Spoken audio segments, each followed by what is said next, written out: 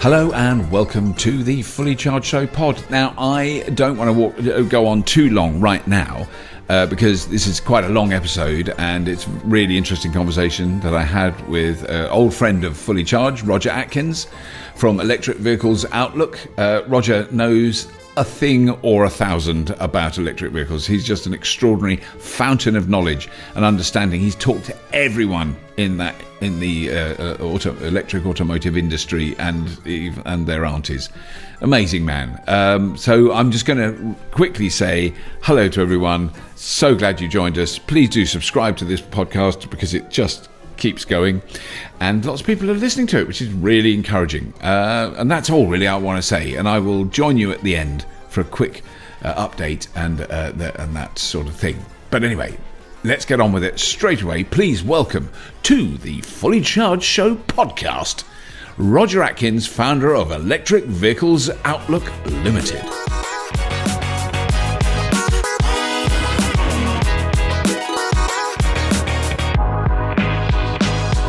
myenergi is putting the I back into British innovation. My Energy is putting the I back into inventing the future. myenergi is putting the I back into inspiring a nation. Recharging the world with green, smart energy. Charge your EV with your PV and more. Visit myenergi.com and help to spark the green revolution. myenergi driving the charge to a greener future.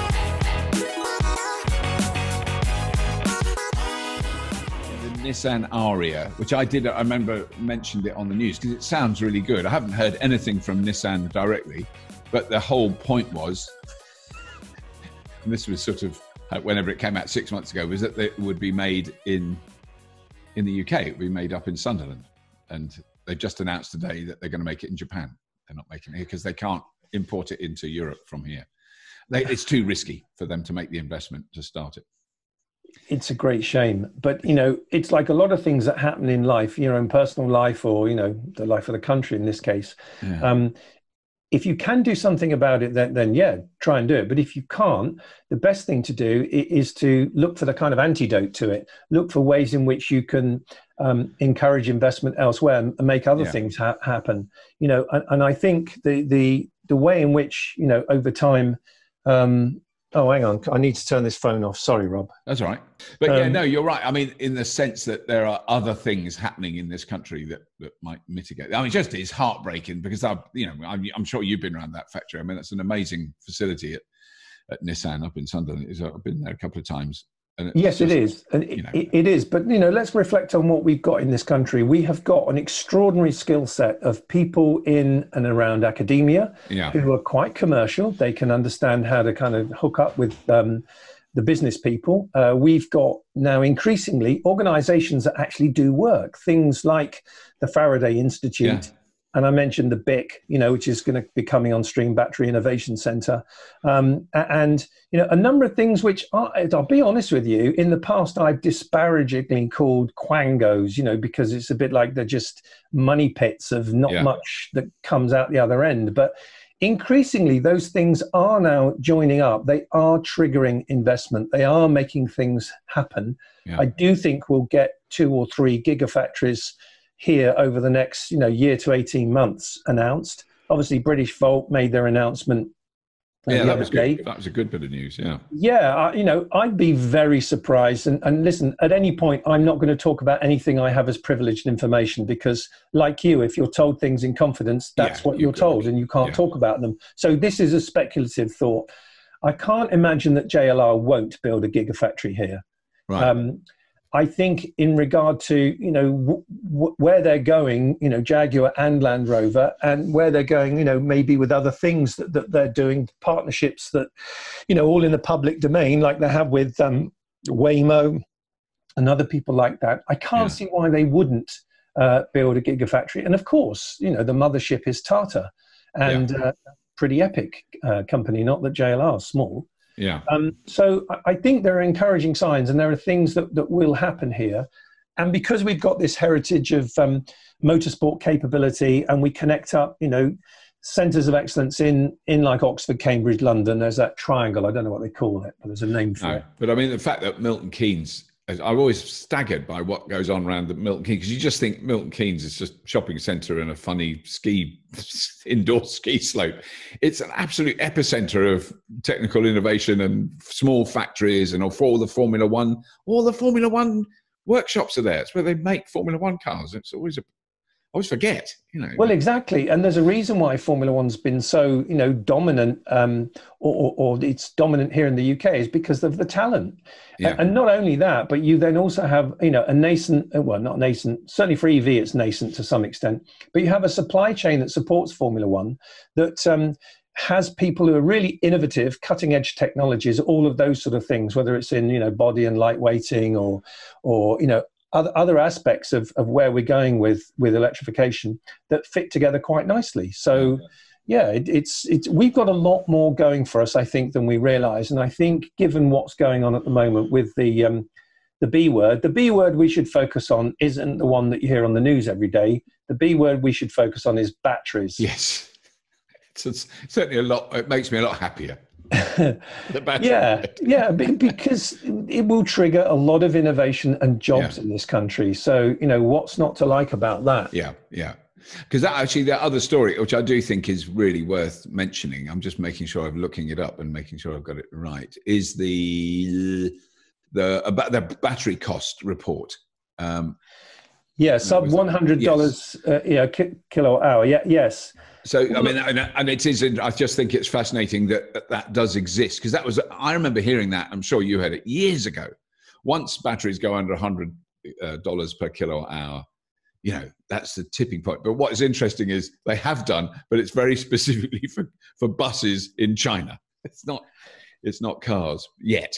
But, well, uh, well, I'm quite glad about that, Rob. You, you, know my mantra, which is becoming almost like a fetish rather than a, a mantra. That you know, electric buses and taxis and vans are what we we should yes. and must see lots so of. So important, yeah. Yeah. Well, you yeah. go to any town or city, you know, the things that are still too many of them, diesel, etc., are those buses yeah. and, and taxis, yeah. etc. And, and I think if we'd taken a leaf out of um, obviously not the Nissan Leaf, um, yeah. taken a leaf out of the, the, the Chinese authorities book and focus much more on electrifying bus fleets and the like, we would have done a lot more good to, to where we are. Oh, there is one thing I definitely want to talk about, um, yeah. but we'll, we'll, come to that in a bit. I'll, I'll, nudge you on it when I think it's okay. an appropriate moment. But um, but, but, but yeah, it's good news. Look, you know, yeah, batteries. It, it's the more we make, the more they know, the more they do. The, the, I wouldn't say the easier it gets, no. but, but uh, the better at it the world the world gets. Yeah.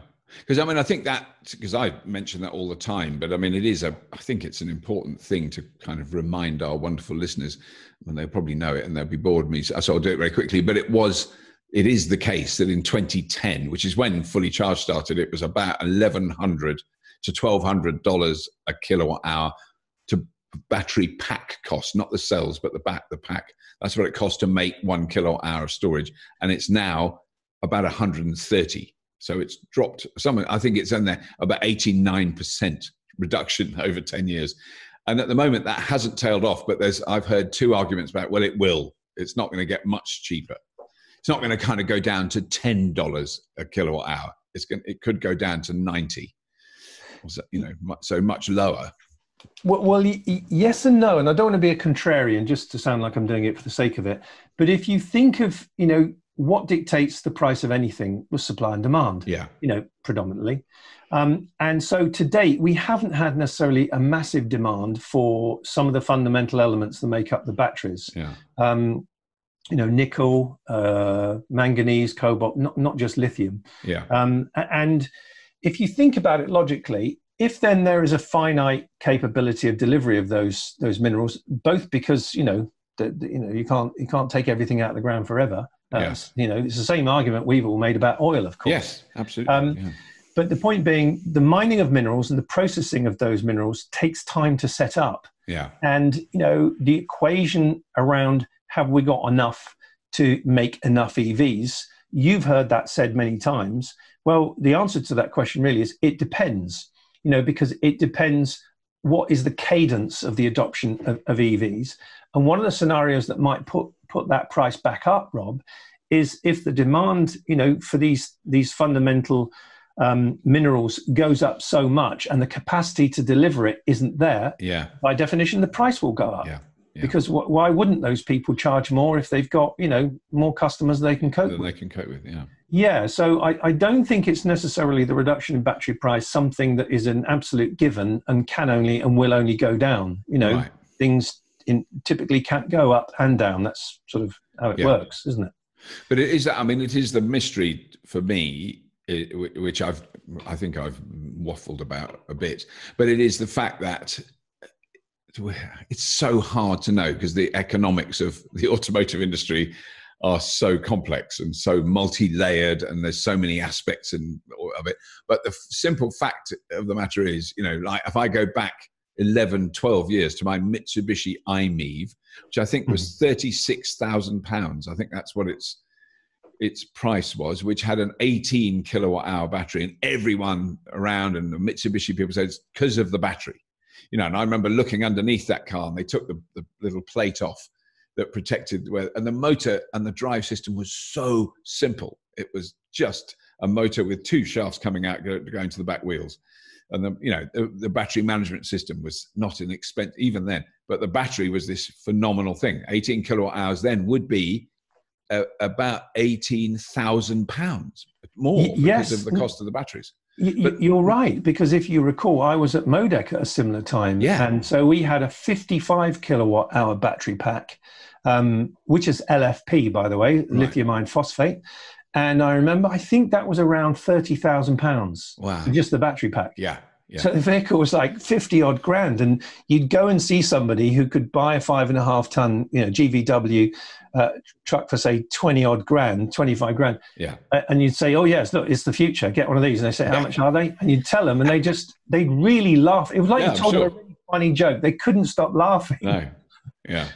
But I mean, that because that would mean though now on these prices, it, let's say 120 quid, uh, 120 dollars a kilowatt hour, an 18 kilowatt hour battery is now going to cost about 2,000 pounds, whereas it well, was 38,000 pounds or whatever it was. You know, a huge amount. Yeah, 18,000.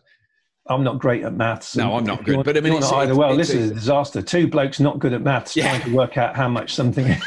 but what is interesting is that you now can spend. You know, there's there isn't a ten thousand pound electric car on sale in the UK with a small battery. You know, there, it just doesn't hasn't happened yet. There's some that are around sort of twenty two to twenty five thousand, but of course they've got much bigger batteries. That's you know, so it's that. It, it, what I'm what I want. Here's my question. Is it possible for the larger automotive, established legacy automotive manufacturers to gently increase the price of their electric vehicles uh, and thereby protecting the sales and the attractiveness of their existing uh, manufacturing capacity to make diesel and petrol engines, which is what they've been doing for the last hundred years?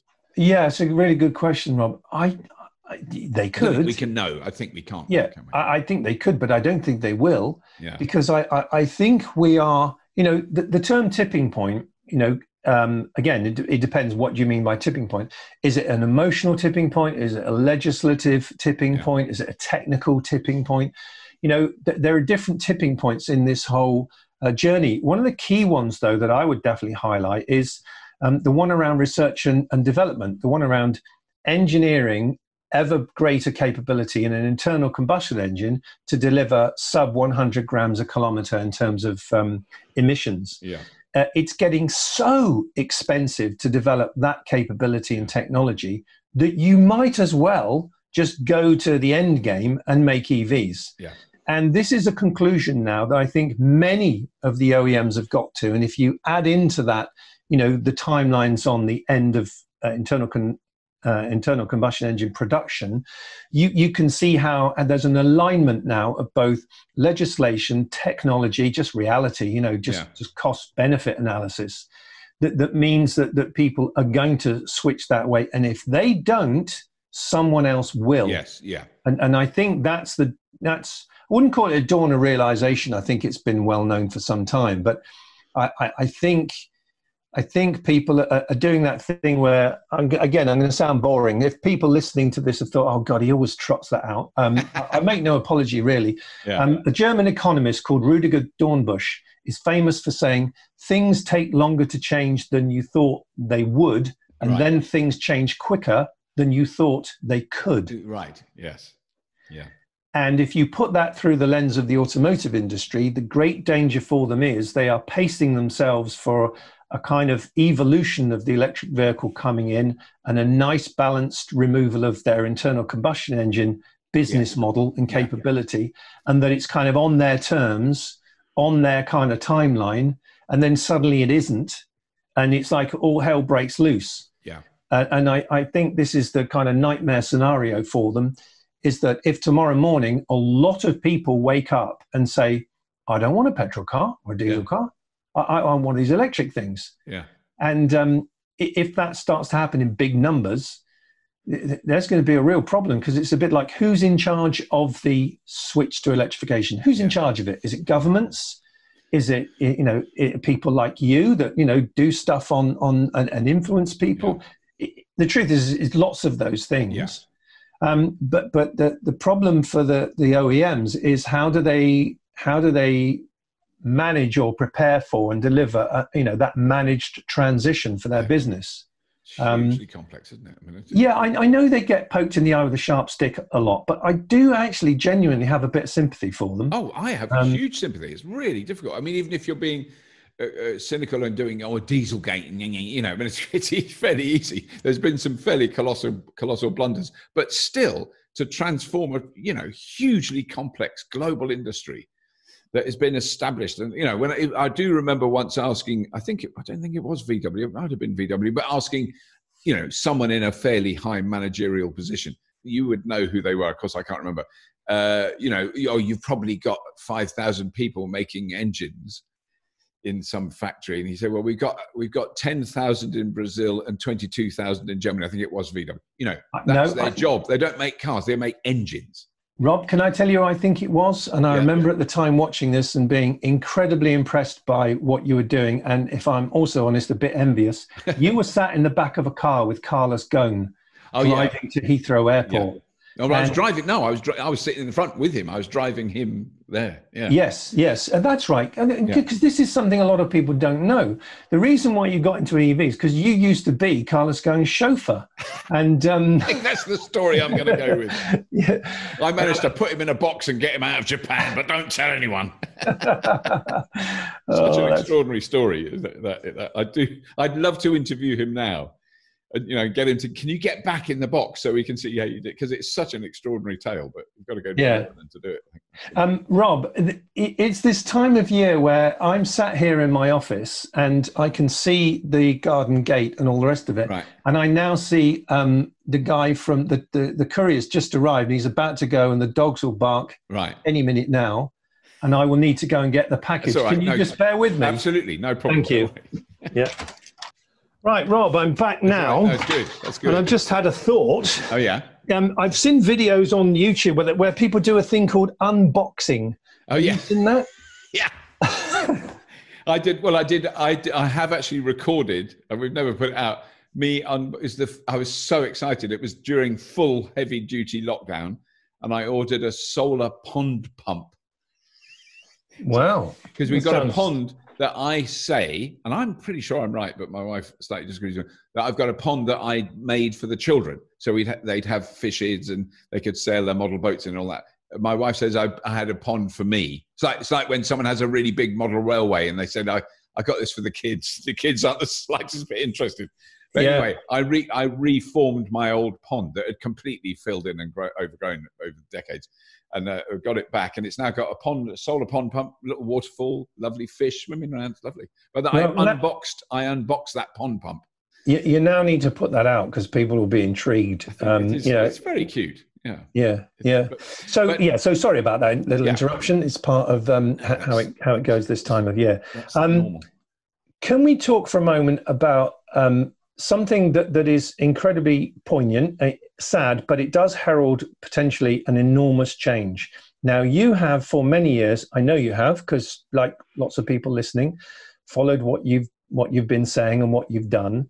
And the issue around, um, well, the twin imperative of reducing CO2 and improving air quality yeah. has been, you know, something you, you've, you're a real champion of and, and real exemplar of getting stuff done. So yesterday, when when the High Court oh, yeah. finally, for the first time, for that young girl Ella Kissi-Debrah, because that was the next story I was going to bring up. Uh, well, really you know, w- when you think about it, um, for the number of people over time that have, you know, sadly got ill and died. Yeah. Um, for this to be the first occasion where that is actually officially the case, linked to, um, is extraordinary, and yeah. it is a bit like it did seem to me a bit like a moment where, and I, I won't know the person, but with um, uh, with asbestos yeah. and probably with cigarettes yep. and, and a exactly few other things which for many many years lobbyists and other people said no no no no they're fine it's okay it's not a problem um, but I think we need to have a balanced, not discussion, but we need to have, we need to deal with this uh, appropriately. It will trigger a lot of issues, um, and they won't all necessarily be positive. Um, but for her mother to have, you know, pursued this in the way that she has, with the dignity that yeah. she has, extraordinary you know, dignity. And, it's astonishing, and, and yeah. I think without, and it all sound like hyperbole saying it like this but I think that young girl's sad and short, tra- tragic life will go down in history as a moment in time where we really do have another one of these. We talked to them earlier, it, tipping points. So, I mean, I just kind of want to ex- explain because I mean, it, this has been a big story in the UK the last, certainly this week, hasn't it? But I'm just for yes. people overseas. So, there was a, a, a, very young girl, I think she was nine when she passed away, beautiful young kid, uh, who lived on a, in a house very near the, the south circular, which is a, there's a sort of inner circular road around in London, very very busy road. So a busy kind of it's not a highway, it's not like a freeway. It is it is a ground level, very very busy road. I've I've got we've all sat on the South Circular at some time in the you know with our engines running. So this kid grew up very near there. Uh, she developed asthma. She didn't develop it when she was a tiny child. It was when she was about eight, seven or eight. Well, I think it was going to school, Rob. I think yeah, it was going to school. So she was breathing by... in. Uh, uh, and the, the, the thing I remember hearing about very soon after that case was a couple of doctors who looked at her uh, periods of crisis when she was taken to hospital with breathing problems. She was on ventilators, which we now know a lot more about that. She was on ventilators at the age of seven, eight, nine mm. years old. Um, uh, uh, but that her cr- crisis uh, uh, events where she had real trouble breathing matched perfectly to very high pollution events. And that mm. was what was really shocking. Now, this has been investigated now for years, isn't it? Because I can't remember when she died. It was 2013. Yeah, yeah so seven ago. years ago she mm. died, and it's taken that long for her extraordinary mother, who was a teacher who slowly kind of just very very dedicatedly pursued this connection that she felt was there a lot of people denied it and it's now been found to be it's it's uh, you know there's um, uh, the dangerous levels of air pollution made a material contribution to the death of the nine-year-old in London in 2013. The, the London coroner has ruled. Now that's the first time. I think that's the important thing. It's a landmark result. It's the first time this has happened in our legal history that that's been the case, which is, you know, I've sort of, because I've hesitated to mention it, like when I do talks and stuff about air pollution and what it does to us, because I don't, I don't know about the science, and also I, it hadn't been fully accepted, so I didn't want to talk about it. It's now been fully accepted. It's, it's, it's, in a way, it's that, it's that depressing.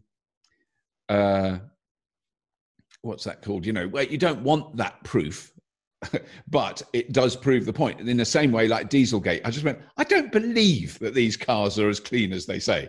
And then you find out, oh, they're not. Mm. and then you go, I don't believe a child with asthma that, that, that, that, where their crisis periods correlate with very, very high levels of, of toxic air pollution aren't connected. And then you find out, oh, they are connected. Yes, just yes, but, but it doesn't give you any pleasure because it's the life of a little kid. It's just you know. And I think if you've got children, and you see pictures of this little kid and i remember when my daughter was that age you know to lose a child at that age just just don't want to think about it. I mean it's really horrifying.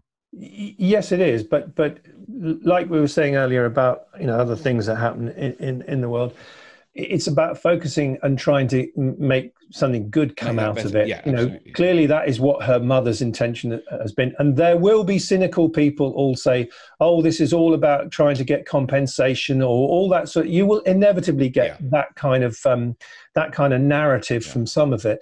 But the reality is, you know, if you if you come down to looking at how many people have suffered ill health, uh, yeah. uh, perhaps less so this year because people yeah. haven't been driving around, but. Yeah.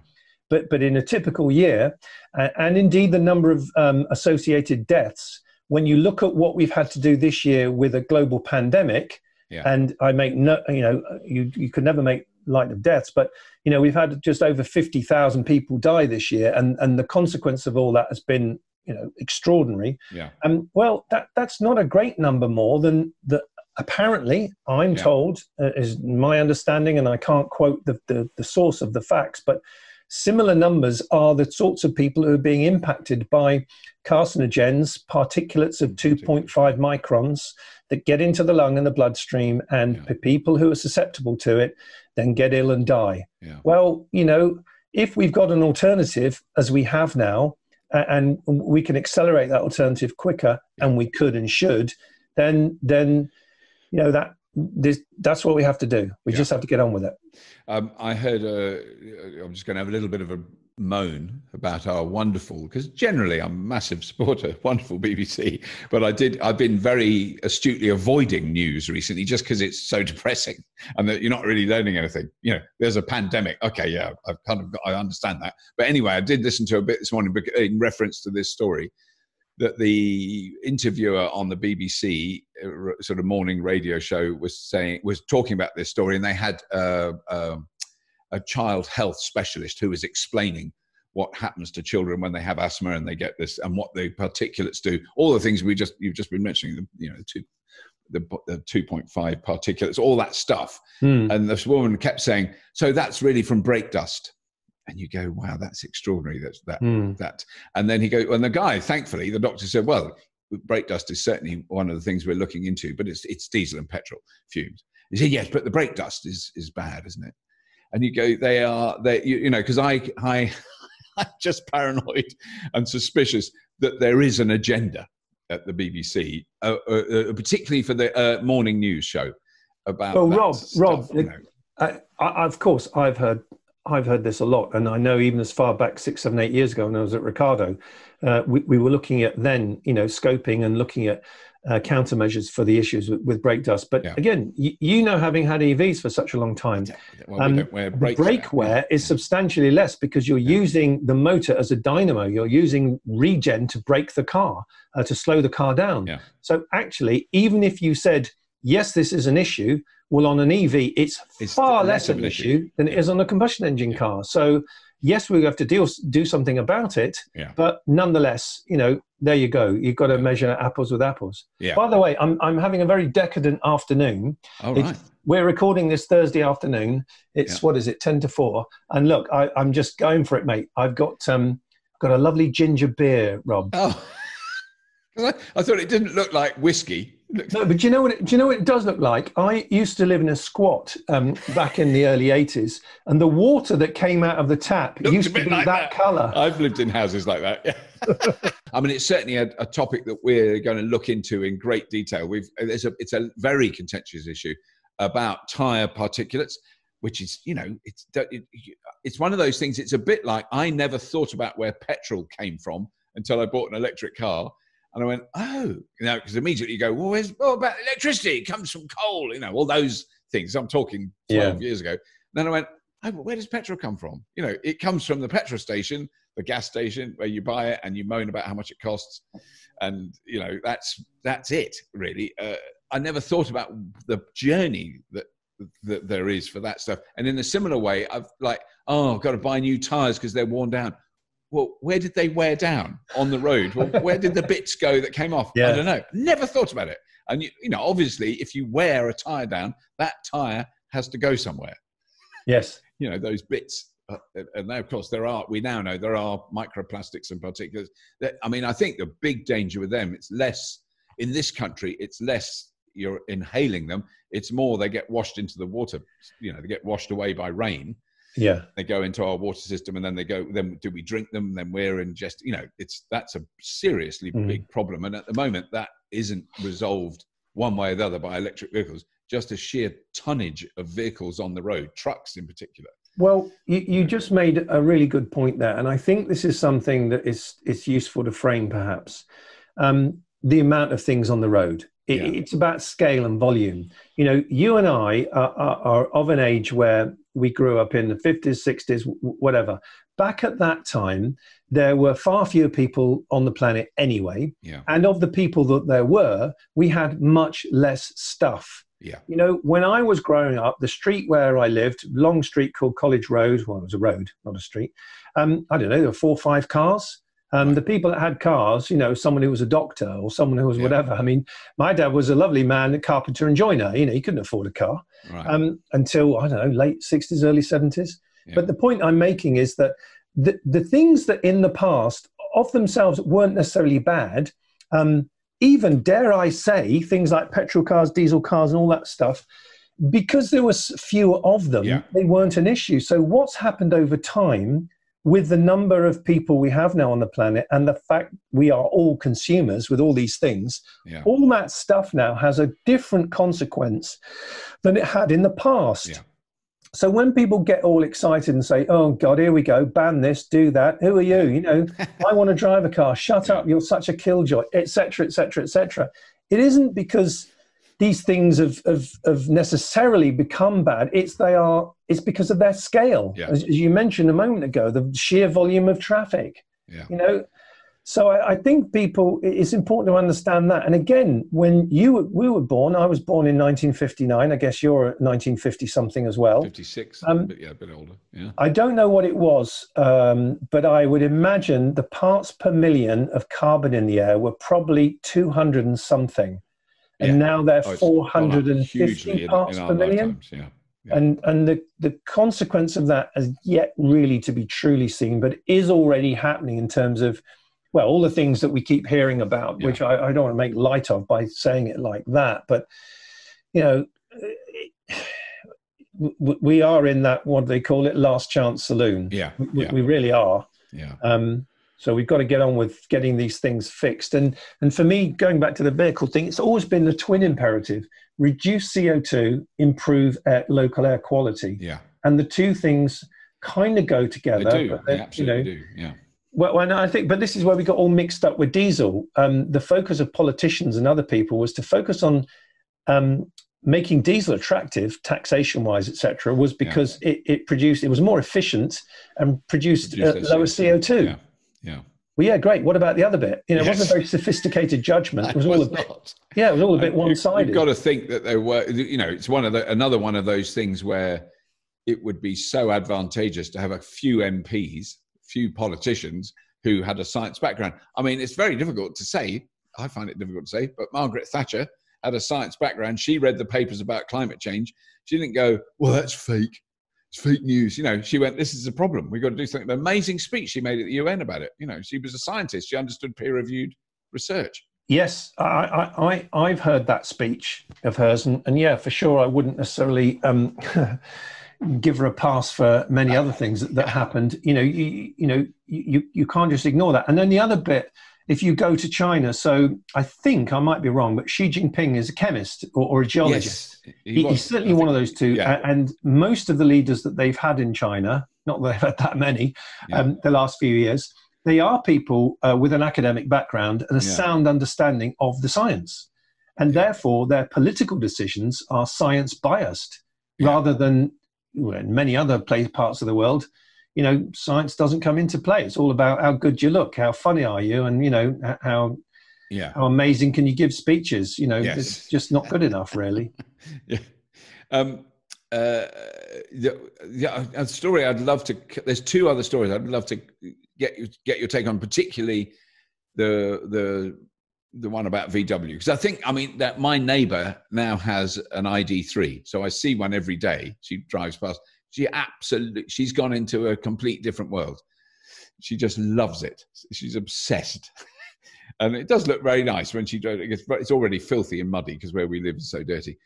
and there's another one in there's someone else who's got one in a nearby town where I live. So you're kind of suddenly seeing these cars popping up. They're very popular, but the, it's the story about uh, the, the uh, Herbert Diess Oh, I don't know how you say his name. Is it Diess or Dice? No, Diess. That's Diess. it. Yep. But that he has sort of won the battle that's going on in, at the moment. He's won the battle that's going on within VW. That there is, it, I would say, profound resistance for them going more electric well, within the within the VW group. But his he's basically the board have supported him. He's because I'd heard recently he was going to be kicked out, and well, he's been I, the real driving force behind EVs, hasn't he, at, at Volkswagen? Absolutely, yes. And of course, he's ex BMW, of course, right. and, and came in to do a particular job. And BMW had that leadership with electrification, of course. Yeah. But then that was kind of, you know, not stymied, that would be unfair to say, but slowed down right. because when uh, and you can understand this to a certain extent. Shareholders and other people looked at what was happening with these these amazing EVs and innovative technology that BMW was progressing. Was they were losing money on everything they sold. Right. And you kind of think, okay, yeah, well, let's make more of those, and eventually we'll go out of business. Yeah. Um, so so they kind of you know slowed slowed down. Um, and, and, he's come from that sort of background. Um, my understanding of this story, Rob, is that it's about the union. So IG Metall, which is an incredibly powerful union in Germany, it's a bit like right. the Teamsters either right. were or maybe still are in America. Um, they wield a lot of influence, political influence, right. social influence, even. And as you will probably know, since about 1947, uh, the, the, in the German economy, all companies have to have workers on the on the board of management.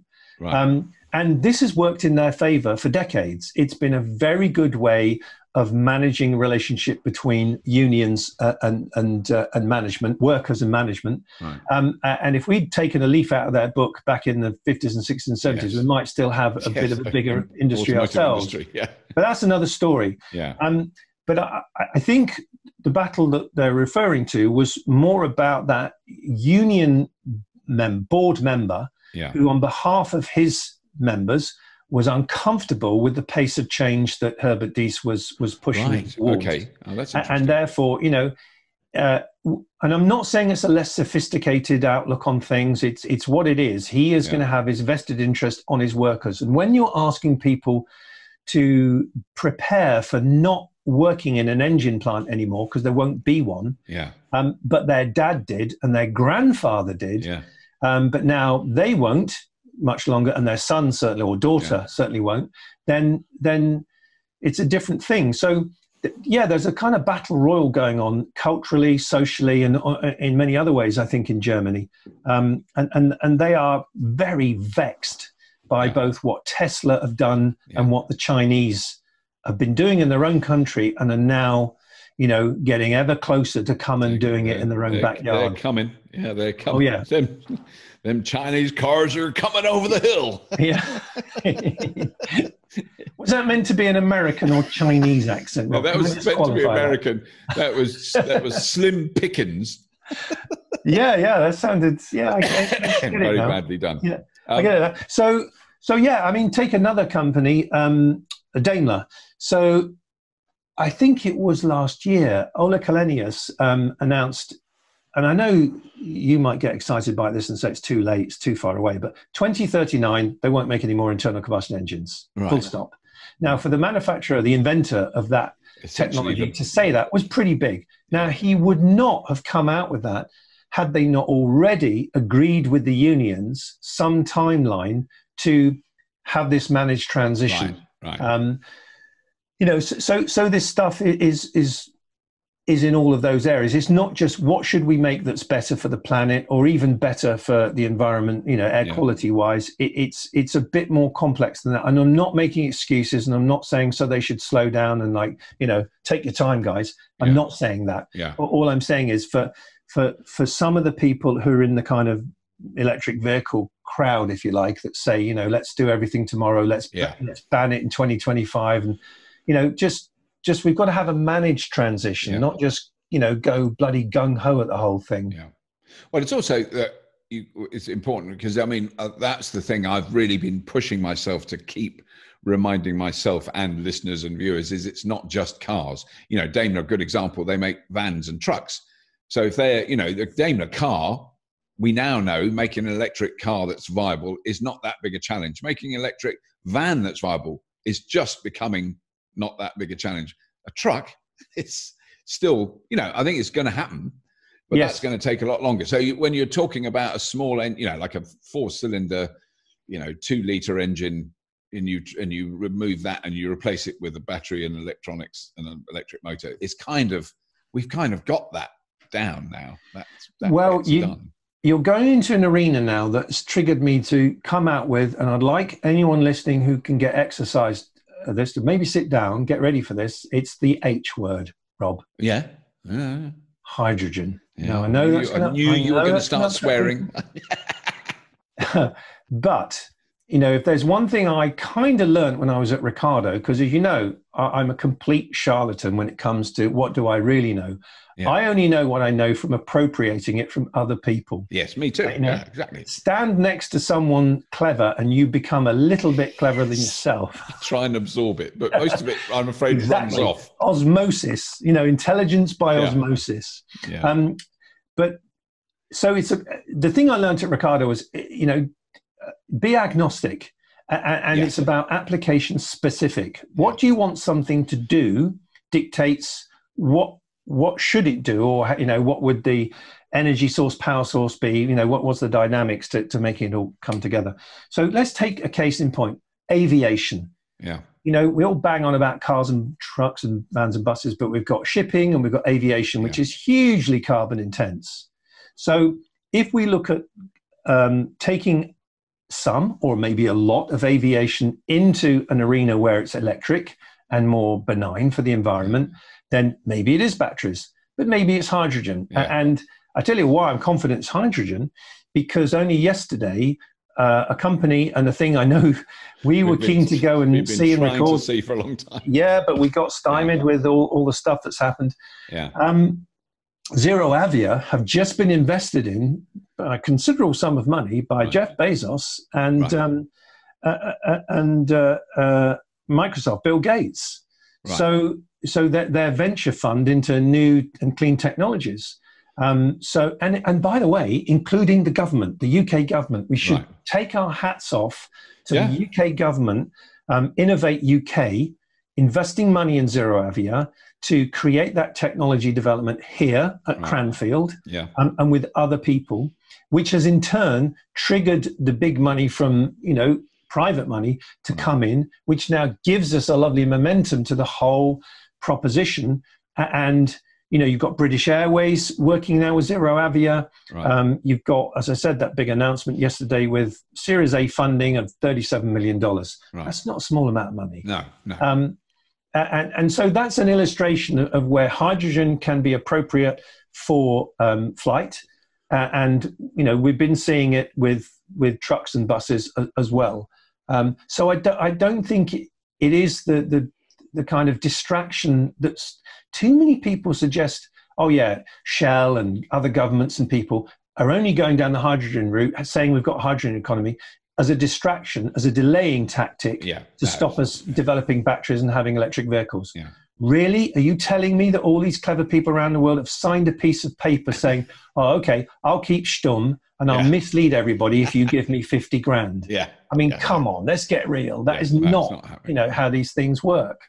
Um, I mean, I think there's an argument. You could make the argument that the reason that the big fossil fuel companies push hydrogen is because they can produce it, and they've got the marketing structure to sell it. You know, of course can, it is. You know, because they can produce it out of natural gas, and they can then store it and put it in their existing filling station infrastructure. I mean, that is that's reasonable. But even that's good. I'd still rather cycle behind a hydrogen fuel. I've always said this. I'd rather cycle by, through a traffic jam full of hydrogen fuel cell cars and buses and trucks than I would today, which is diesel. You know, so I don't care.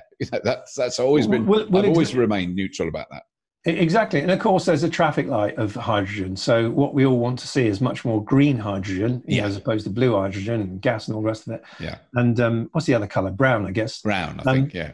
Yes, but but none, nonetheless, when when you look at the capabilities and, and technologies for things that are being developed now, um, uh, I, I, have confidence there is a place for hydrogen in it, and, oh, and I, am not part of the battery mafia, as I no. call it. Whereas, you know, if you're you're in some meeting, do you remember when we used to go to meetings when there used yes. to be events? There'd be loads of people there. Do you remember that, Rob? Yeah, I do. Um, I've got well, pictures. I've been to some of those places where if you if you mention the word hydrogen, it's a bit like don't walk outside on your own, especially if it's dark, because yeah. like a bunch of people will grab hold of you and beat you up. Um, it I mean, it's ridiculous. Well, it's partly because of our good friend Elon, Mr. Musk. Has you know he's done his sort of shtick about uh, fuel, cells and all that stuff. He's very, but you know that's I don't I'm not I'm not bothered one way or the other. I mean the best coach like luxury uh, passenger coach I've ever been on was a hydrogen fuel cell one, a, a, a, a Hyundai. Yes, bus. and it was brilliant. It was so fast, and oh, it yes, overtook I, all the others, and it was so smooth, and it was really cool. I, I, do you know what? I, when you talk, it's like I, I, I can I can chart your life by episodes of Fully Charged. I think, oh yes, that was when you were in. Um, that was episode one thirty-seven. yeah, it's quite funny. But no, but, it's but I mean the because that's the other thing I think is worth pointing out because we'll we will cover this on Fully Charged properly. It's going to be next year now. The ZeroAvia plane. You know, there's lo- there's lots of battery electric planes flying around, and they fly for like an hour or maybe even an hour and a half and they really work because you know electric motors are really powerful and they spin the propellers and they and they're quieter and like the one that flew the i think that was um uh, not BAE, whoever it was, uh, Airbus made yes. the one that flew the channel, and then that way. But this one flies has done a. Uh, how long far has it done? Five hundred miles, I think. Now. Yeah, yeah. The the, the five hundred mile proposition is the first one. You're going to go from twelve to nineteen seats, and, and so on and so forth. You, it's much know, bigger plane as well, isn't it? Yeah. Yeah, and, and and you can iterate the proposition. You know, up and up and up. Um, uh, you mentioned Elon Musk a moment ago. Now, I, I, I said to Val when I, I had a little brief interview with him, which I filmed for, for LinkedIn, um, saying, when you've got this sorted, which of course, you know, getting ever closer to, to really doing that, um, I said, why don't you fly Elon from Fremont, you know, down to Hawthorne sometime yeah. um, in the uh, uh, fuel cell hydrogen uh, aer- aeroplane and then, then we can have a chat with him at the other end and, and, yeah. and see what he thinks. But but but there is a quote that he had years ago where, and I think it was where he, he coined that phrase, uh, hydrogen fool cells, and he said, "It's just not possible. It won't happen."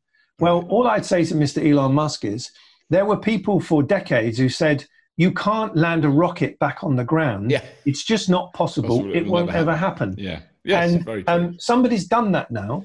Um, yeah. So you know, in fact, he did it. Of course, we all know who did it.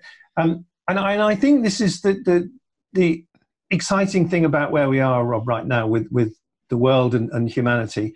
Anything is possible. Yeah. It's just an engineering problem. Yeah. yeah.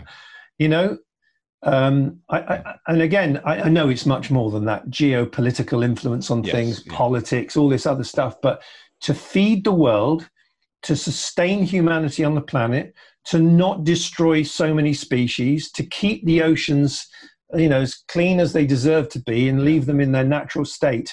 All of these things are within are our grasp. Possible. Yeah.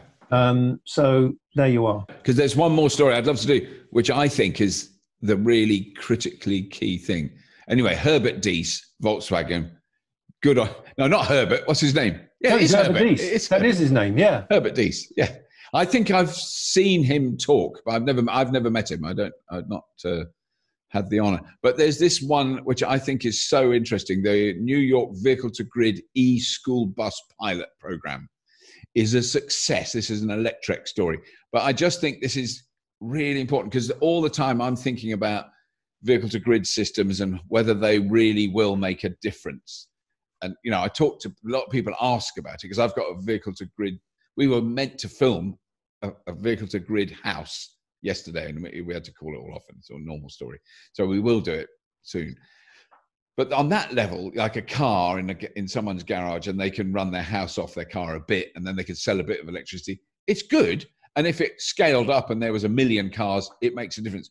But a, a thing like a school bus in America, or the school bus that comes past our house every morning, picks up kids from over the road, they do they do early in the morning they start up and they do that run and they do a set mileage every day and then they go back to the depot and they're there all the time particularly in america. Those buses aren't used for anything else. And then in the afternoon they do that run again and they go back to the depot.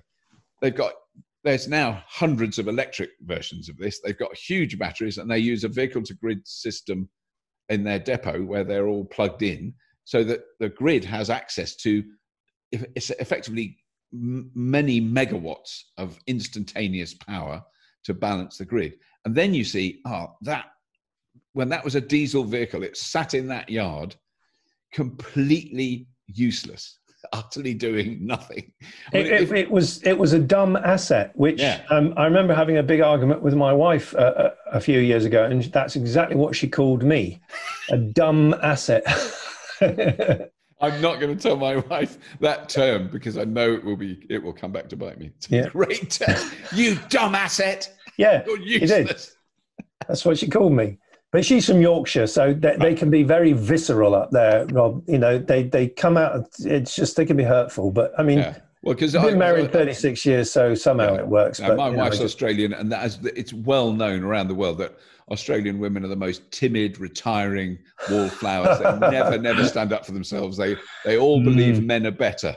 Mm. Just before they land a very ferocious left hook, yeah, you against the floor. I can imagine it.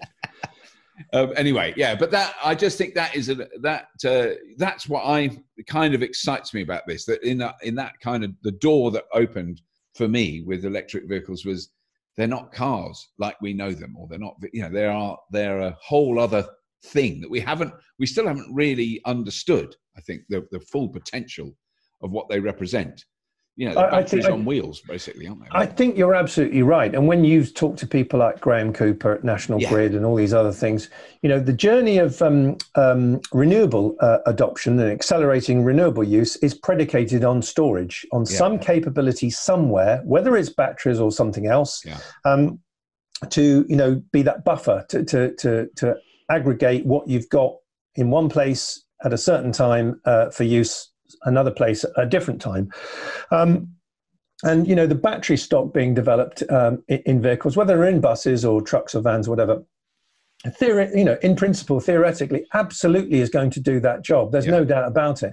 I think one of the challenges, though, is in a lot of domestic properties in many countries in the world, the capability within that house to yeah. feed you know energy back through substations and effectively in, back into the grid is a little bit trickier than, than maybe we think. But where you talk about commercial applications and business facilities and all those other things, that's I would imagine much more scalable. But listen, I'm not I'm not an, I'm not even an electrician, let alone you know a, a, real expert in any of this stuff. The only shout out I'd definitely give Rob would be to Nissan because Nissan have been advocates yeah, of this for many many years, and I'm sure you can recall going to things I don't know, five, ten years ago, maybe even longer, where they were talking then about vehicle to grid.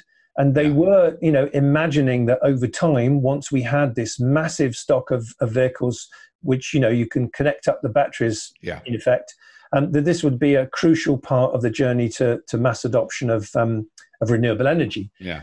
Uh, so, so all credit to them because I sometimes feel sorry for both, actually, both Nissan and Renault to a certain extent, and, and maybe BYD if you put them together. It's yeah. Tesla that get all the glory. Yeah, yeah. everything oh, goes so on. Yeah. But you know, lots of other people have done stuff, and, and definitely Nissan, Renault, and, and BYD, um, you know, have been at it a long time too. Yeah. I mean, because that's the simple sum I worked out in one of those discussions, actually with Graham. And I, I said this and he laughed, but he said, Well, I suppose it's not impossible is it just in a fantasy world we convert all the vehicles that are currently on the road now to electric.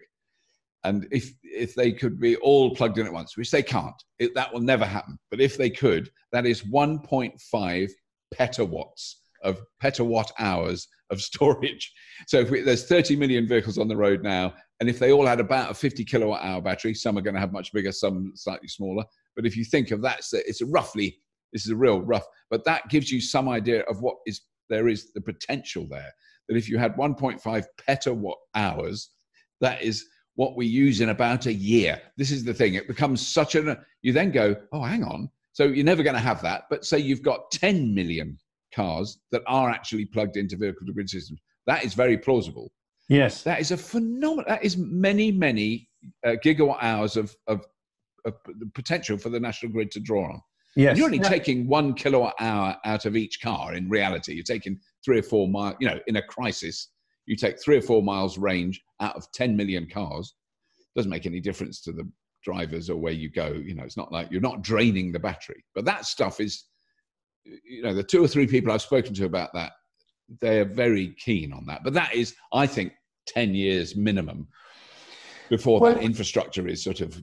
Well, I, I, I, yes, I think it is, Rob. But and we're friends. But I'm going to upset you now because I'm okay. going to say something you may have heard me say before. But we're not going to see mass adoption of electric cars, and I don't think we should. And and, and the other day it was a, a FT no, I, live. I, am with you. Actually, you're not going well, to upset me, but I'm still. I will be upset just for the sake of it. How dare you?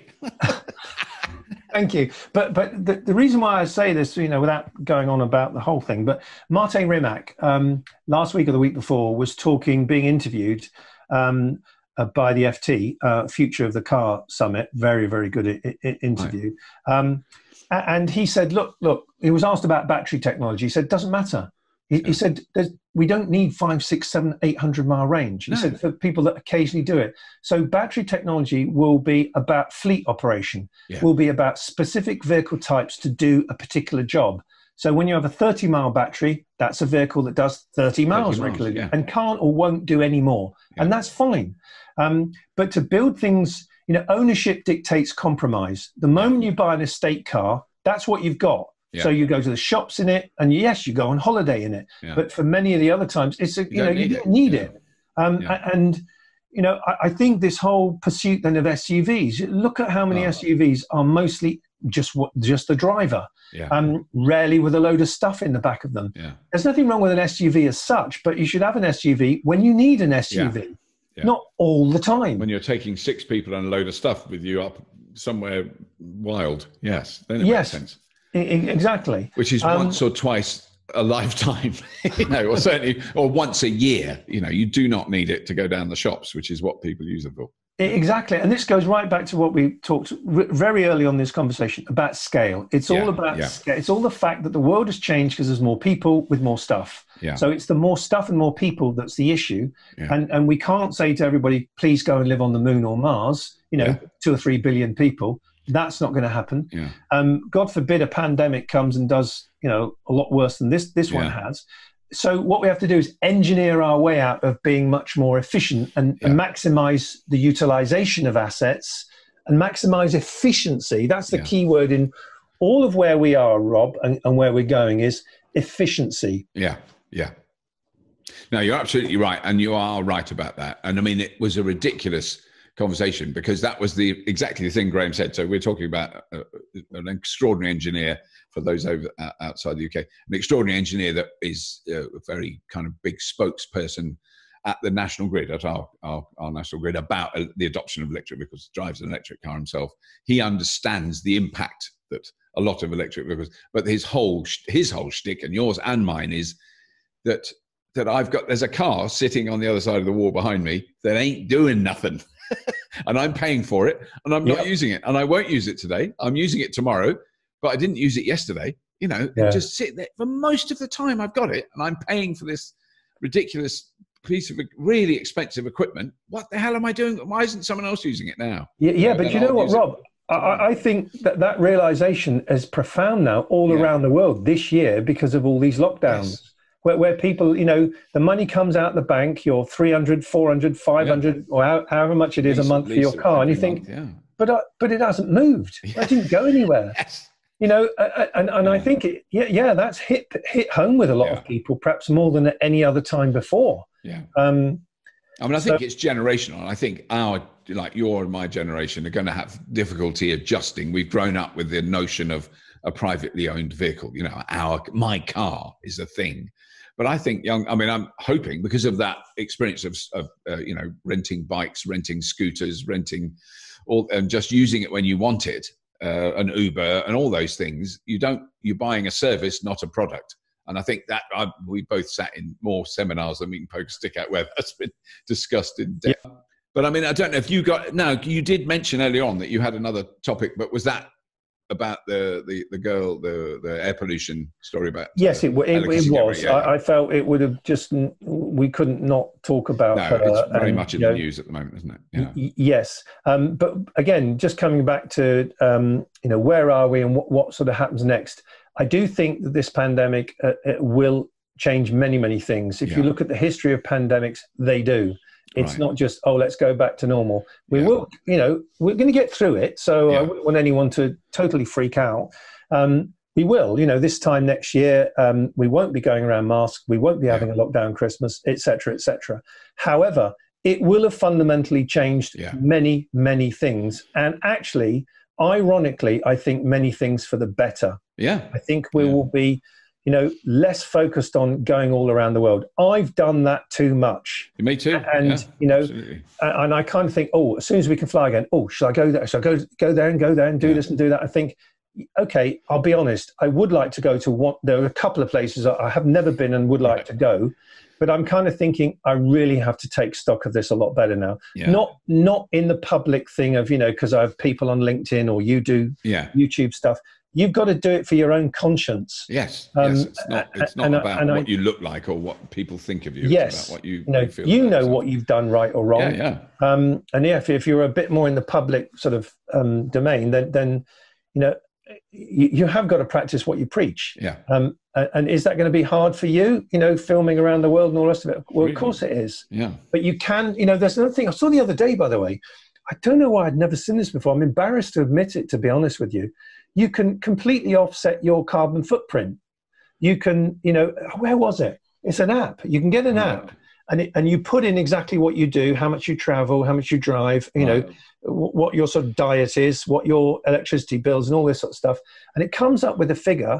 Um, an organization sort of put it together. Um, I think it's all kosher, but it's essentially then, you know, you've got to pay 25 quid a month or something to right. offset your carbon. Um, I should know a bit more about it. Right. I just briefly explained it, but well, sorry about that.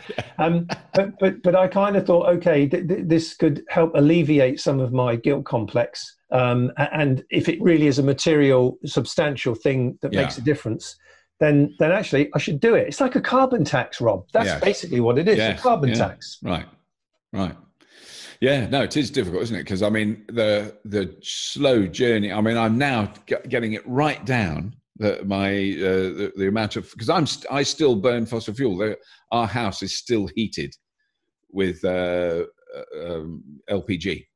Right. Because we're not on mains gas here. So, we, but I mean that would still be a fossil fuel. But you know this this year my, it was my absolute aim this year to get an electric boiler. You can get a replacement boiler. You don't have to replace your whole heating system.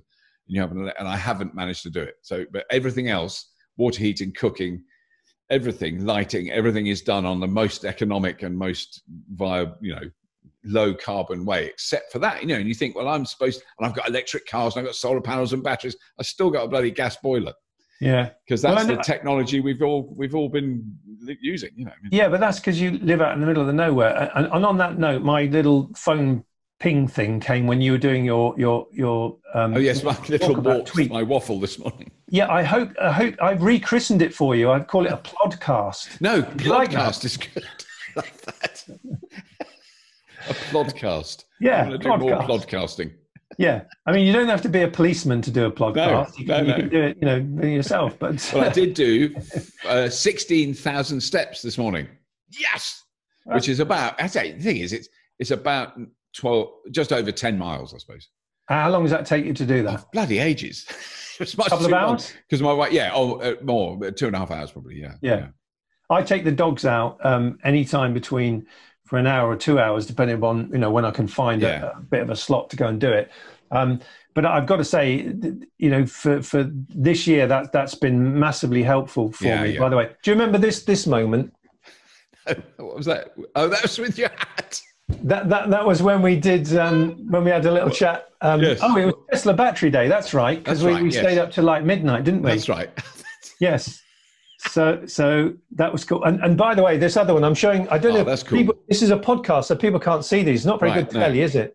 Um, so that's at Charge Cars uh, with, with, with Mark, really smart right. guy. Um, you should definitely do. Oh, I don't. Have you done an episode with them yet? No. With the uh, Mustang? No. Oh, yes, but we know about it, but we haven't done it yet. No. Yeah, you know, you know, please do because yeah, no, what they do is they they they don't gut a car and chuck bits away because that, that wouldn't be right.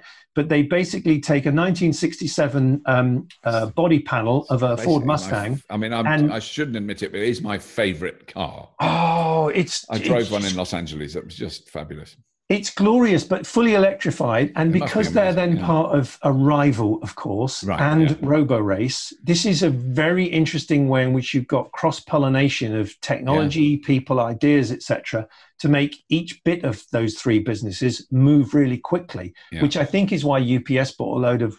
Uh, vans. I love the episode you went and did at Banbury with them. by the way, great. that amazing. Um, yeah. I mean, look, looks extraordinary, and and the whole thing of again they're tackling things so differently and radically you know having micro factories rather than yes. building great big plants yeah. using different construction techniques rather than the yeah. traditional ones you know making everything more efficient that's yeah. the stuff they're really good at and um, and recyclable i mean they're all because uh, uh, we talked a lot about that the circular economy the notion that you build something that lasts as long as it possibly can do and then you make sure it's made of materials you can use again which is you know kind of obvious. We should have yes, been doing it, it, for the last hundred years. And I've just had a thought, Rob. You know, you mentioned Milton Keynes earlier on being, yeah. you know, quite an advanced place. Well, think about it, Rob. Just think about what you said: circular economy. Yeah. What has Milton Keynes got lots of? Roundabouts. Roundabouts. See, they there. You always, been... you always manage to suck me in. I'm going. Jesus, Roger's going to come up with the most brilliant thing. I must go along with it. And then I went, oh, bloody circular economy, roundabouts. There you go. There roundabouts. there. So they've got a very circular economy. Yes, roundabouts is the future. it's the magic. Do you remember the magic roundabout? I, I tell do. you something. I don't know how they got away with that back in the day because Brian Thompson, especially the character Dylan and whatever. Yeah. But the Magic Roundabout was um, that that kids program in the nineteen. Well, I suppose it was. It was actually a French uh, it was a French animated thing that was revoiced for the UK. So it was completely. You're kidding me. Don't yeah, it was made that. in France. It You've ruined my childhood. It was Florence Dougal. It was, uh, uh, I can't remember. I, I, remember seeing it in Paris. And I went, oh my God, oh, I didn't know you'd had, uh, uh, you know, Magic Roundabout here. And they went, it is French. How dare you? It's oh, no, come on. That's so he because... revoiced it. He wrote the, he wrote the, uh, Nige Planer did a documentary when when I was making an episode, uh, we're making Red Dwarf at Shepperton. I went into another studio, and there's Nige Planer with a giant Florence Dougal. And if you don't know these, you're not from the UK or France, you must Google the Magic Roundabout. You'll see these amazing animated puppets. Dougal the dog, Dylan the stoned hippie rabbit. Oh, completely off his head. The way that was portrayed, it was like, oh, hello, man. Oh. Yeah, like it may as well have had a massive doobie. And Flo- hey, you're quite right. And Florence was the little girl who went on the magic roundabout. And uh, what was the snail called? Brian. Brian. Brian the snail. Yeah. yeah. No, look, it was the magic Very roundabout surreal. was yeah. it was a, Rob. It was ahead of its time. It see, was. magic roundabout, circular economy. You see what circular I'm doing economy. here? They could see it all together. into the future. They knew what was coming. Yeah, they did indeed. Yeah. Um, well, well, look again. I would just like to say something to you, which I, I, might have said once or twice, but I would like to say for the benefit of listeners, really, as right. much as you. Um, thank you for what you do, what you do with the rest of the team. Y- yes, you get, you know, you have to work hard to get sponsors for some of these things, but you do it in exactly the right way, very professional way. the fact that you do all of this work and have done it for years for and put it up there, you know, for free, yeah. I think is extraordinary. I think you should be you know you should genuinely feel proud of yourself. I know you the job's not done it's an ongoing thing etc but the fact that you bother to do it rob you could go and do something else. You know you, you've established a bit of celebrity you do your thing. I'm sure you could get lots of other much more lucrative work or lucrative work at all yeah. at all rather than you know this thing that you believe in this passion that you hold and the fact that you you know you toil away at it working so hard um, and you are getting on a bit. So you're not, you know, the fact you're not slowing down, that's all good too. Um, but no, on behalf of everybody that that oh, I well, well, very kind thinks this I, way, I want to thank you and salute you. Here's well, here's a ginger beer to all ginger you do. Beer. I really appreciate it, Roger. Thank you very much. No, that's very kind of you. But I mean, I think I, I accept it, and I'm because I'm very I find that sort of stuff very hard to deal with. But I do accept it. But I also the only uh, uh, uh additional to that is that it's it's been incredibly rewarding in every aspect other than financial. You know, yeah. I mean, it's been such a, it's become such a, a, a, key part of my life now. It's like a sort of central focus, uh, I suppose. You know that, which is great. So I'm very grateful to have had that opportunity, even if I might have carved it out myself or whatever. It's the the fact is that the subject has pulled me along if you if you know what i mean. It's not like, which is nothing to do with me or anything i've done that the actual technology that i took an interest in and i think you're the same you know 10 years ago could have gone could have fizzled out and gone to nothing. And actually it's exponentially expanding and it's fascinating and it's challenging difficult. It's not it's not a perfect answer but it's a fascinating story to follow. So that is a great benefit but but I've I've neither known you or known of you for a very long time, and I know even when you did that thing with the Joeys, that band, you had those those you know your three yeah. friends. I know one of them isn't here anymore, but you you know you have that song um, uh, about women's rights. You know, yeah. um, um, men are men have willies, men have bums, men are good at science and sums, all, all that one. Um, so you've always had that thing, and I've always uh, talk to my, my, sons and they because they love Scrap Heap Challenge. Right. you think what Scrap Heap Challenge was about? No, it's about recycling. Had a huge impact. Yeah. It's about reuse and recycling. Yeah. You know, it, it, was yeah, it was fun. You had a laugh. You made you know crazy stuff, but yeah. essentially it was about not throwing things away. Yeah. And finding a way to, to use things in, in a different thing. Now, I don't know how long ago that was 15, 20 years ago, Rob? Well, it finished 12, uh, uh, where are we? 12 years ago, I suppose, 12, right. 13 years ago. So, yeah, we did it for 10 years and yes, about twelve years ago. But but that's that's a pretty much a similar theme, and very much now the contemporary focus, which is to reuse and recycle. Yeah, yeah. Um, and and and that that was that was a great show. So you you know, mate, you've got form. Whether yeah. you want to go and do something else anyway, you can't because you've got form in all I've this stuff now. So yeah, you're. Um, I'd like to do puppet shows. I'd like to make the magic roundabout. yeah, I tell you what we could do. How about make it make an episode of the Magic Roundabout on a roundabout in Milton Keynes? Yes, yeah, with but a solar powered entertainment. That'd be good. An electric roundabout. It's about time by the, the sun. It's yeah. about time the fairground industry caught up with the 21st century, started using solar to power their their roundabouts. Wouldn't it be cool to have solar powered bumper? Because I love bumper cars you know, the, I was in the. Dodging. I went to. Have you ever been to the Isle of Wight? I went to the Isle of Wight for the yeah. first time this year on at the Sandown Pier. At the right. end of the pier, they've got a bumper cars. Oh, have they? Well, no, I've not been there. Well, so like all like all summer long, you can go there. Well, I guess so. Yeah. I mean, and, and but bumper cars. I yes, I, I'm. I've always thought, you see, you know, I like wireless charging. You know, we, we can have a version of bumper cars with wirelessly charged in effect. You know, that, that would that would be ideal. Now, I haven't talked about wireless charging. I'm not going to go off on one, but I All would right. like to leave you with this one thought. Okay. Um, probably end of January now because we've been getting COVID in the way, but we will have 25 electric Jaguar I-Paces running at high power wireless charged um, as taxis in Oslo. In Oslo, uh, right. Oh, so are they not operating? I thought they were already operating. They, no, well, the cars are out there, but yeah. you know, getting all the right. the, the, the groundwork's done and yeah. all the rest of that stuff it, has all been underway with an amazing team from Jaguar and from Fortum and from Cabonline, the, the taxi company, and, and these. Right. These guys in America at uh, Momentum Dynamics that, that you know I, I, I work with, uh, because I'm a big believer in it. Um, and that'll be around, they'll be charging at between 50, 60 kilowatts, uh, right. those vehicles, charging in situ when they're in the taxi rank Isn't waiting for a ride. Yeah.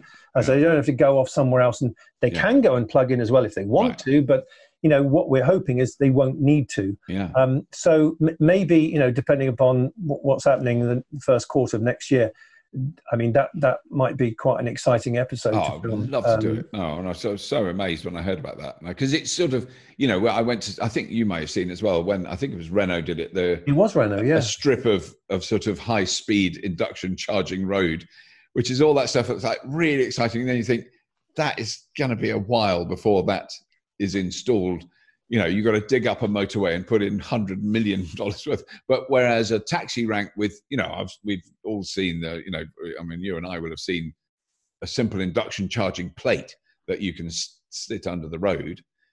That's a much easier, in, you know, uh, at, at, a place where a taxi stops while it's waiting. Well, exactly. So much and, sense. And, you know the journey that it's been on wireless charging um, in the same fashion you could argue that charging has, has been on you mentioned some of those things earlier on now unless you're at 50 kilowatts or more you're not really at the races you yeah. know okay you can charge overnight at home when you've got all the time yeah. you know at 7.2 or, or whatever I mean, 11 if you're lucky um, but but essentially the, the, the, the, fast charge capability is the important one to have it for high yeah. utilization vehicles like buses taxis and vans and to try and deliver it to them in situ where they yeah. don't need to go off their their kind of job you know yeah. what, what, what, they're doing so it isn't that wireless charging is going to be a panacea it's not going to like oh that's it that's yeah. the only way we do it um, I, I, think for the short term and maybe for you know another decade or so this will be an appropriate way in which we charge up lots of vehicles like taxis buses and vans and then we can have smaller batteries on them because yes. they don't need the battery on board because they've got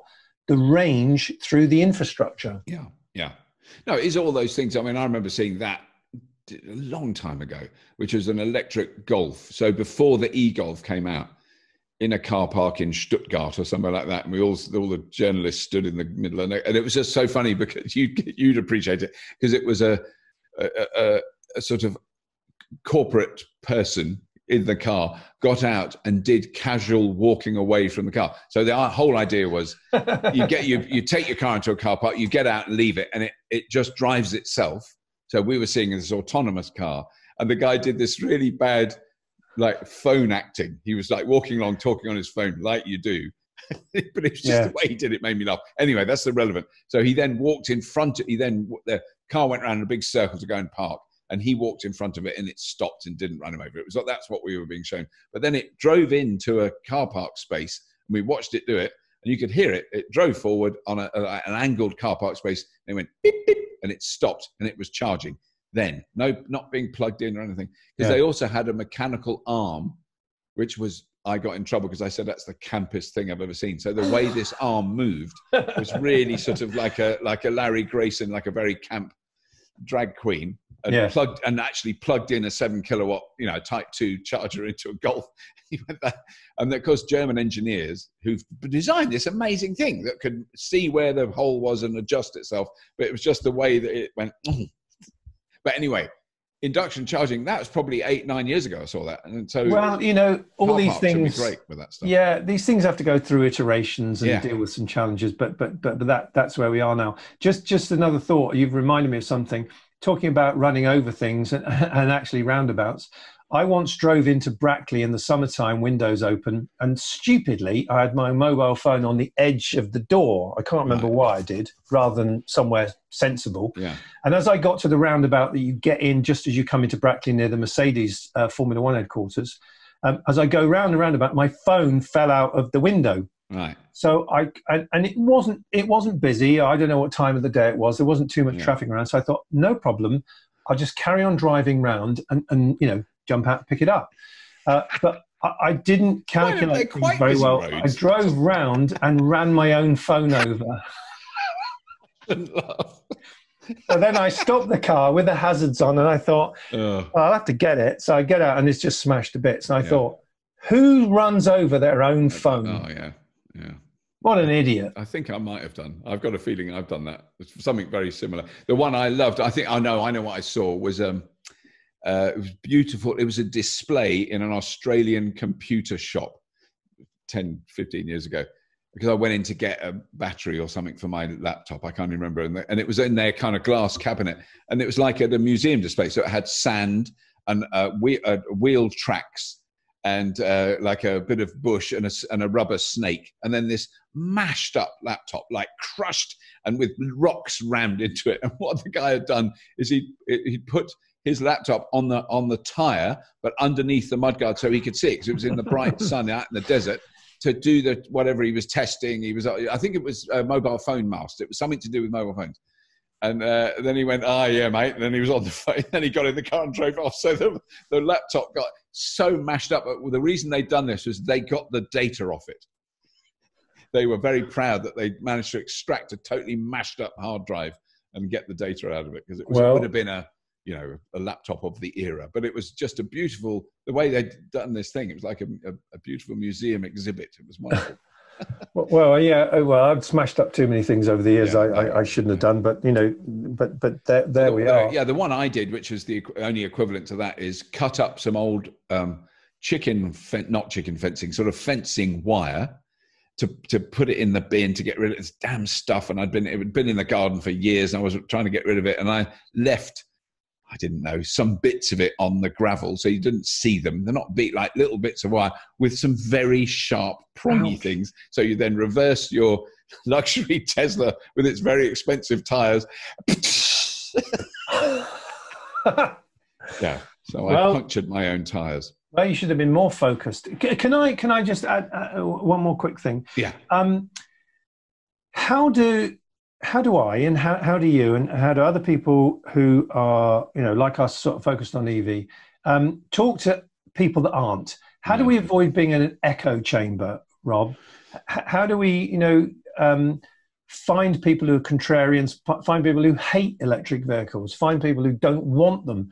How, how do we put ourselves in uncomfortable environments to talk about, you know, what what, what we do? I mean, we could, it'd be pompous to say and change people's minds. Yeah. But, but just just tell the story. They can make their own mind up. Yeah. But but how do we get out of just being in the comfortable place where we're all around each other saying, "Oh yes, you're right. Oh, we're right. Oh, well, yeah. you know, we've been right all along." You know, how, do we get out of that? I mean, I don't. I mean, th- I think the f- feeling I get now is that because it's all those clever, uh, cleverer people that I have that have that design those graphs of of technology adoption. So Tony Seba, people like Tony Seba, you know, come up with a, you know, look at the, what happened with the telephone or the fridge, refrigerator or the television yeah. or the radio. You know, there's this very well documented sort of academic study of how people adopt new technologies. You know, they resist it first, then they then there's the early adopters, then there's the you know all those things. It feels to me like now, if someone is vehemently anti-electric cars for whatever reason, there's no there's there's kind of no need to try and convince them or to I, I you know I've really kind of withdrawn from sort of arguing because I go, it's fine. I just say, like on Twitter, that's the only time I would interact with that. I'll occasionally get someone who will see something I've retweeted and gone, well, they're ridiculous. And what about your batteries? They're made of toxic materials that children do. And I always, I now say, don't buy one. Stick with your diesel. Yeah. It's fine. It doesn't matter because you're the, you know, I don't actually say you're the minority because now most people are going, even if they're not going to do it for five years ago, I know my next car will be electric, or I'm waiting okay. for the second-hand market to develop. And I think that is, you know, the, the people who are still vociferously opposed for whatever some sort of philosophical reason. I can't quite understand it. Um, which is fine, you know. And I want the glory of my internal combustion engine. It's, it's fine. Don't you know? It doesn't worry me at all. I've always want. I want like my friend Chris Barrie, who's in Red Dwarf, loves his classic cars, and he polishes them and he, mm. you know, buffs his carburetors.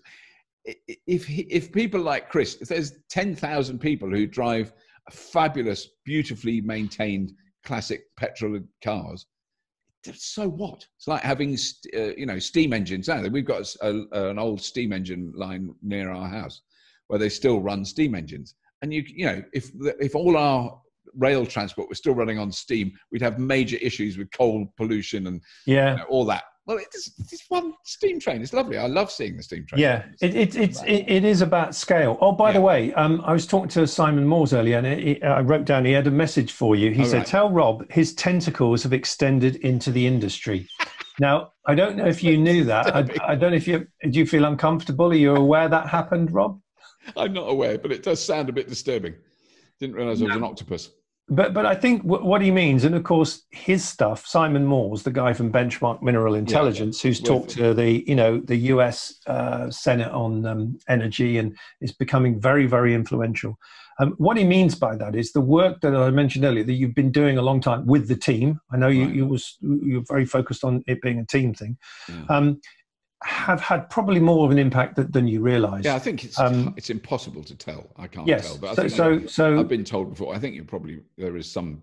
I accept there's some truth in that. Yes. So so so please don't withdraw your tentacles. No, uh, they're no. they're out there, yeah. um, and and they're doing their thing, which is really good. So yeah. as long as it doesn't give you any discomfort, um, just just carry on tentacling. Yeah.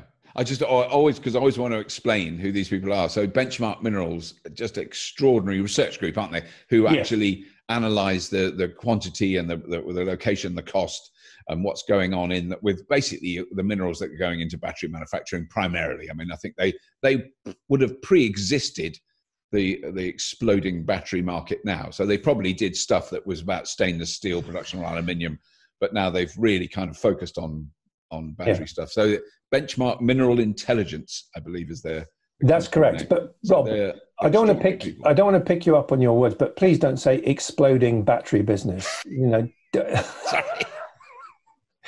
Especially with the Kona recall. Well, you know, um, th- th- yes, in, yeah. in, indeed. Let, us not let's not get ourselves in a go down yeah, a rabbit hole, as, as yeah. it were. But anyway, um, that is uh, Roger. I just want to thank you very much because you're always you always cheer me up and you're always inspirational. And we shouldn't go on too much, you know, mutual adoration or anything. But you know, it's been it's been brilliant to talk to you. You've kind of pushed you've pushed me in different directions, which is wonderful. And uh, long may you continue to do what you do because you've just got I mean, uh, I'm going to explain it again to our listeners. Uh, how many? Just tell me how many people follow you on LinkedIn? Because it's a totally different thing, but it's a lot. Um, oh, I'll tell you. I'll have a look. Oh, yeah, have a look. I want the exact number. yes, uh, bear with me. Um, it's two hundred and ninety something thousand. Right. Um, 291,559. And go. I'd like to say thanks to all of them because, yeah. you know, it, it's very flattering. You know, I'm an old bloke um, with grey hair uh, not fat, but getting that way. Um, so to have that many people follow you, think yeah. you know. But that's I mean the, the critical thing of that is that's mostly people in the energy automotive yes, yes, industry. You know, so it's yeah. very you know that's a you know really important to the fact that you're tied in with all those people. I learn an enormous amount from you whenever I see you or whenever I read anything you've said or, or anything. So that's so I'm very grateful you've. Well, thank you. That's very kind. Thank you. On, on, the pod, as they say, as the as the as the I was going to say as the young people say, they don't say that. They're just. We've got no idea what they no, say. I don't know what they say, and I shouldn't no. know. no. No, it's a secret. They don't want us to know. If we start no. saying it, they'll change it and really, won't exactly. say that thing anymore. Yeah, yeah. I can remember my dad saying um, uh, something about Led Zeppelin. I can't remember what it was, but it immediately made me not. I've, I've never been able to really love Led Zeppelin ever since then. I, I just, if so, he would have come into my bedroom when I've got Led Zeppelin playing and going, Led Zeppelin, heavy rock.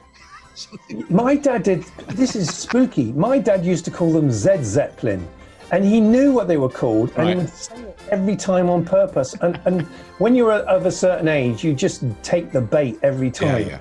He'd go Zed Zeppelin, da da da da. I said, yeah. Dad, it's Led Zeppelin. It's not Zed Zeppelin. Yeah, Zed Zeppelin, da da da da. And I think, idiot.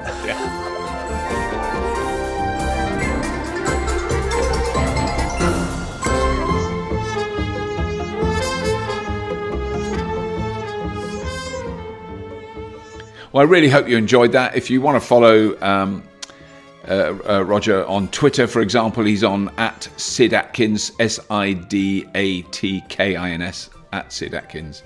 Uh, and he's always in the most, uh, well, generally, uh, up until this year, you know, I just see pictures of him with everyone that you've ever heard of that has anything to do with electric cars. Extraordinary guy. He gets around, really knows his topics, as you can tell. Um, just really want to do a, a quick a heads up just to announce that we are definitely doing in 2021 Fully Charged Live at uh, Farnborough Airfield in June and Fully Charged Live Europe in Amsterdam in uh, end of September. I believe that's when it is. I will make sure the dates are very clearly um, illustrated. Uh, and you can, if you go on our webpage, uh, fullycharged.show, you will see everything there. And also, there was another thing I was going to mention Patreon. And yeah, yeah, I don't want to go on about that too much, but if you're interested, uh, there's a link to that, and there's a link to most to all the stories we talked about, all but one, I think.